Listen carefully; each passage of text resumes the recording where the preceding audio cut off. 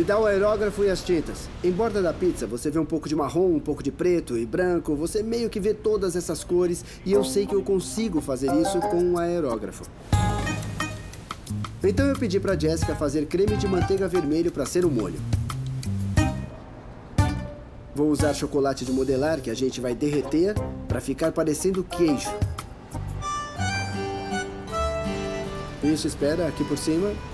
E então eu brinquei um pouquinho com o maçarico para derreter a pasta americana e o chocolate de modelar. Olha, esse queijo tá lindo, parece derretido. A gente fez o queijo e ficou parecendo mussarela saindo de um forno a lenha fumegante. Ficou demais. Queimar a pasta americana com o maçarico deixa um gostinho parecido com o de marshmallow assado. Até a pasta americana da bordinha parecia que estava borbulhando. Sabe, o bolo ficou parecendo uma pizza mesmo. Eu pedi pro Ralph fazer cogumelos.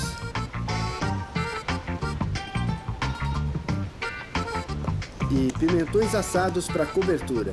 Sabe, para ficar incrível mesmo. Vai com calma, rapaz. Os meus preferidos são os bolos em forma de comida. Os meus também. É muito legal.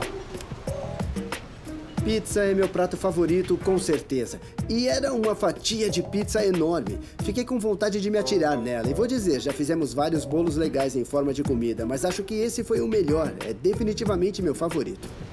Isso é que é bolo em forma de pizza! Uhul!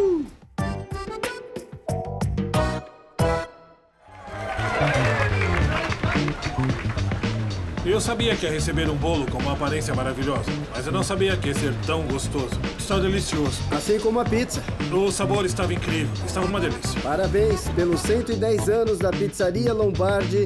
John, sucesso e vida longa!